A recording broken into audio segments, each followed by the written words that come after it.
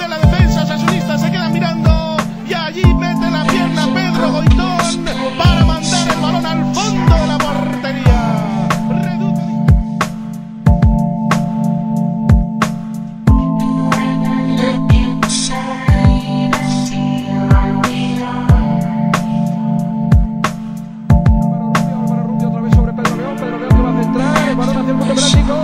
El gol, gol, gol, gol, gol, gol, gol, gol, gol.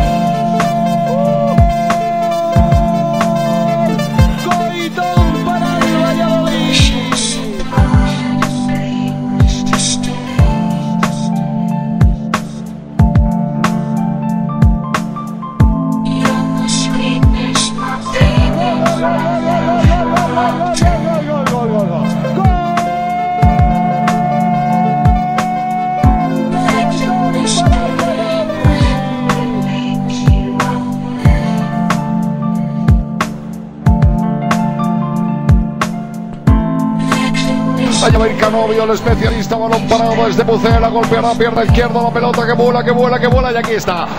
¡Gol!